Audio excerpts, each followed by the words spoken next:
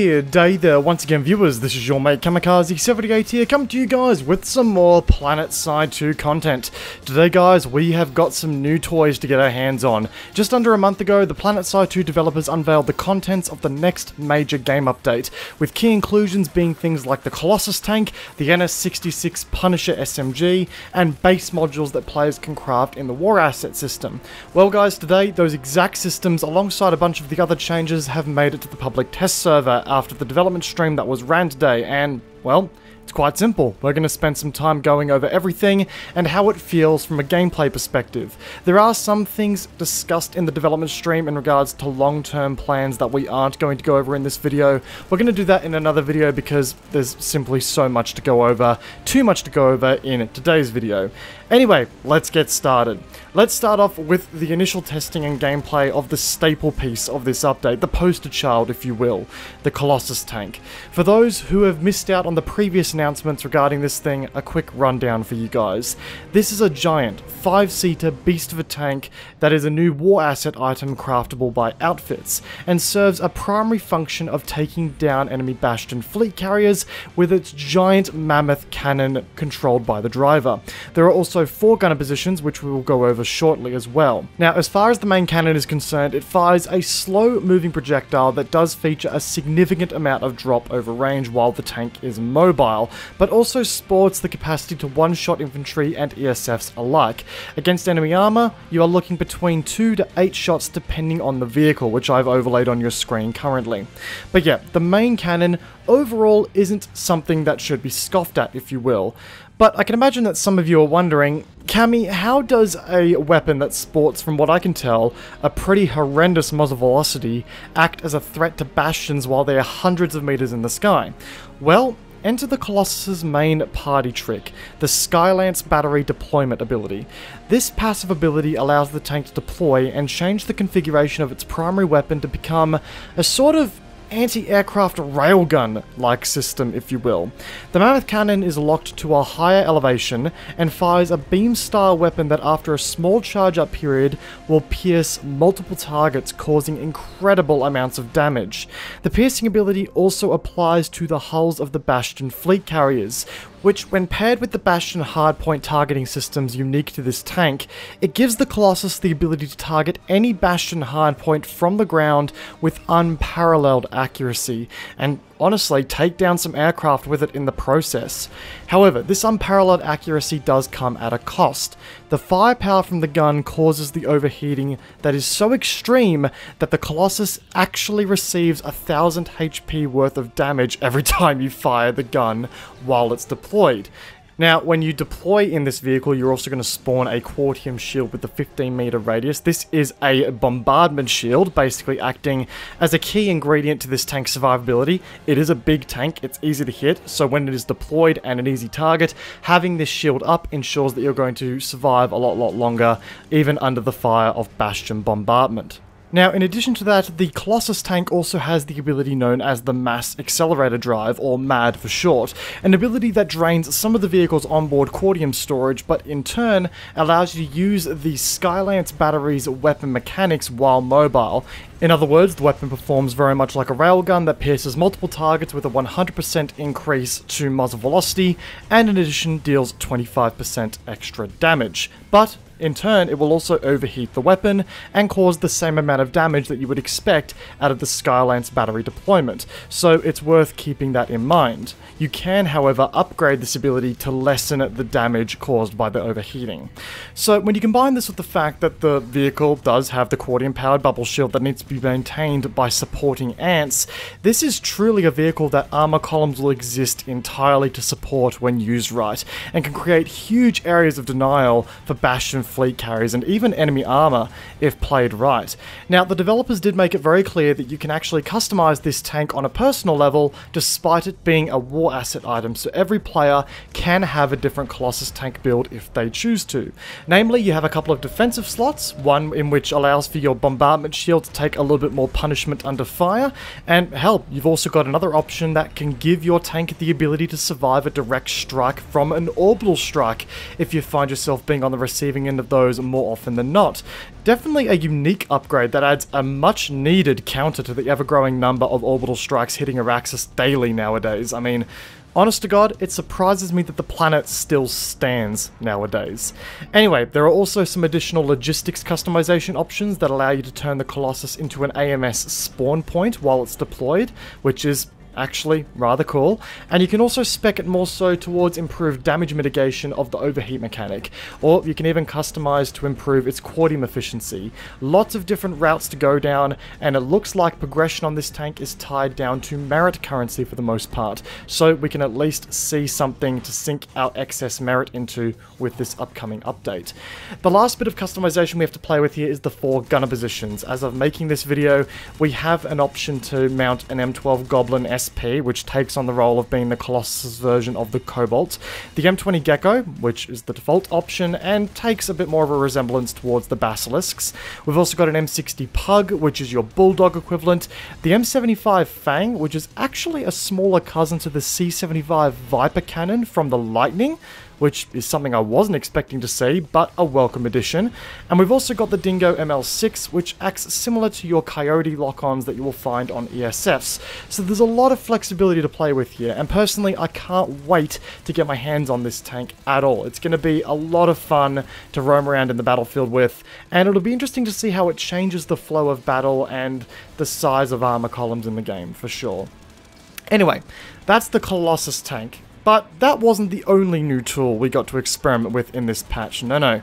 We have something for the more infantry-minded players here too, the NS66 Punisher. This little SMG here, in my opinion, is one of the most unique weapons to have graced the fields of Auraxis in recent times, thanks to its ability to have its underbarrel grenade launcher change out its payload based on the class that you find yourself using the weapon with. Now, since we last talked about this weapon, we have learned a little bit more about its mechanics surrounding it and how it's going to behave. Firstly, the weapon maintains the same damage model that it featured in the initial screenshots, which proves that this thing is going to be a total menace on the battlefield battlefield. A 143 damage model at a 769 rounds per minute fire rate creates some incredible firepower that will see this become a new favourite for a fair few players. However, its small magazine size does seem to lend it towards being a bit more of a guerrilla warfare style weapon, but we will discuss that in an official review when the weapon hits the live servers. In addition, players have got a wide variety of attachment options available on the weapon, including extended magazines, compensators, suppressors, high velocity and soft point ammunition, so the weapon is as modular as you would expect from an Nanite Systems option, but one thing I wasn't expecting is that you can opt to have the weapon inhibit a standard underbarrel HE grenade. So if you want to go for the more classic underbarrel option on the weapon, there is that option for you to explore. That is in fact what the weapon will be loaded with by default. However, the way you enable the weapon's adaptive underbarrel properties is by equipping the rail attachment slot. Now, I know what you're all thinking. Damn it, this means that I now can't run a laser sight or extended magazines on the weapon if I want to run the cool grenades. This is actually not true. Strangely enough, the game lets you run both the adaptive underbarrel grenade attachment and an additional rail attachment slot, which is actually really cool to see. It makes me wonder if we're going to see a wider sleuth of customization options make their way to other weapons too. But anyway, this was a surprise to see, but once again, a welcome one for sure.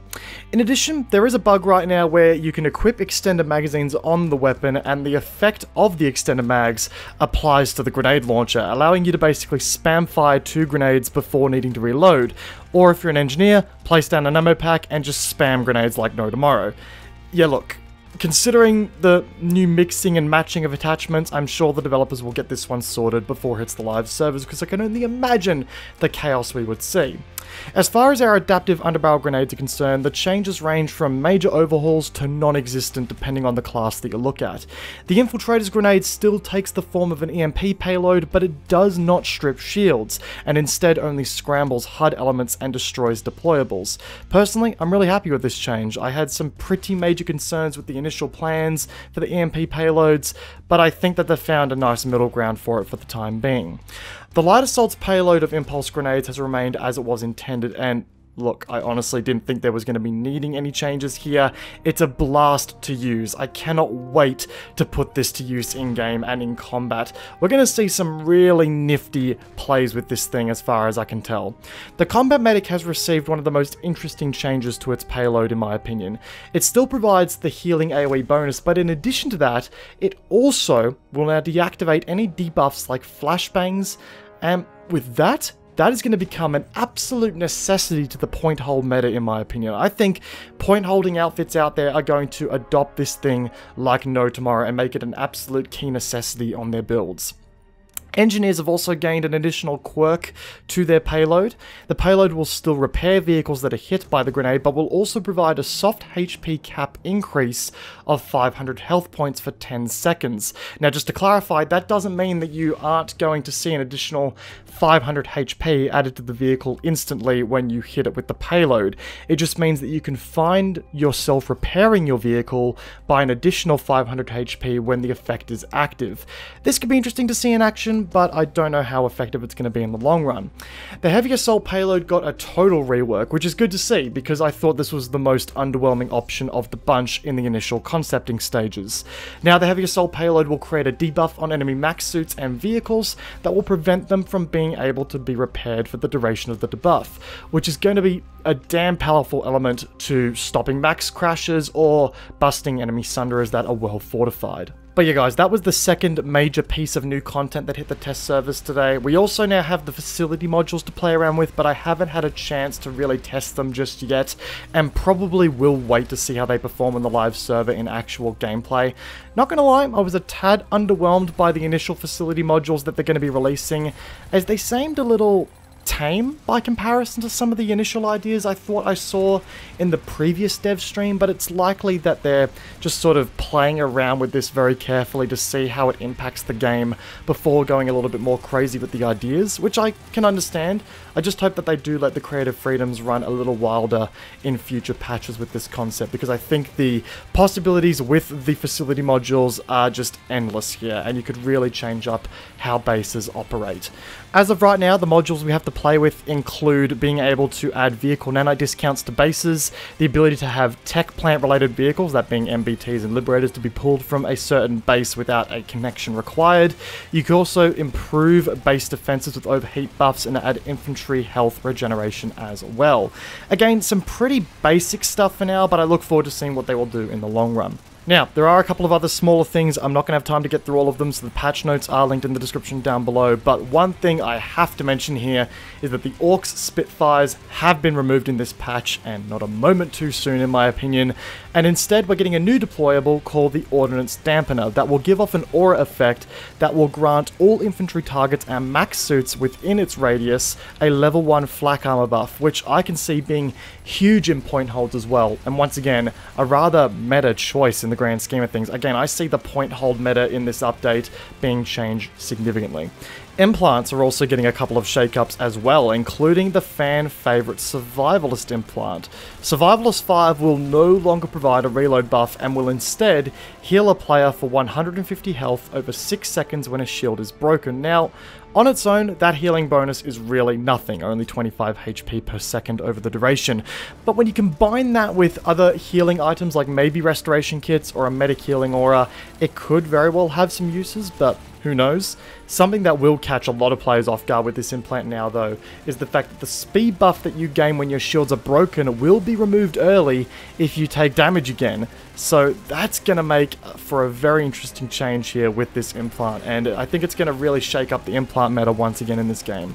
Revenant will now also grant you a cloak if you revive a player with this implant active at rank 5. Could be useful for down to the wire point holds or revives out in the open, but I'm still not 100% convinced by this implant yet over my current builds on my combat medic. And last but not least, guys, concussion grenades are being nerfed. Now, this was something that I knew some wouldn't be happy about, but in the grand old scheme of balance, there is always going to be people who aren't happy with changes you make. Now, if you are concussed by multiple grenades at once, the turning speed reduction will no longer stack, and you are now just going to only have your controls inverted. Which, I mean, let's be honest, if you're running inverted controls, the stacking of slowed movement speed may actually help you sort of disorientate yourself while those controls are inverted. So, who knows? Maybe this is a buff to a certain extent. I don't know, I'm just talking at my ass now. And guys, those are some of the key things I noticed with this update. The Tanto got changed, the Daimyo got changed, there's a lot of weapons receiving some tweaks, and in addition to that, a lot of other stuff that got bug fixed as well. Again, I'm going to leave you guys the opportunity to go ahead and check all of that out in the description down below via the patch notes. But guys, that concludes today's video. I hope you enjoyed it. If you did, be sure to backhand that like button, and if you're new to the channel, backhand that subscribe button whilst you're at it to keep up to date with all things that I'm releasing in the future. Guys, PlanetSide 2 is well and truly on the march. We've got some more content that I would like to go over um, that came out of the dev stream in future videos, so be sure to keep an eye out for that as well. Uh, as always, guys, my social media links are the best way to keep up to date with my content, so be sure to follow those as well. Once again, guys, I hope you enjoyed today's video. Peace out, and I will see you guys all in the next one. Take care, guys. Have a good one.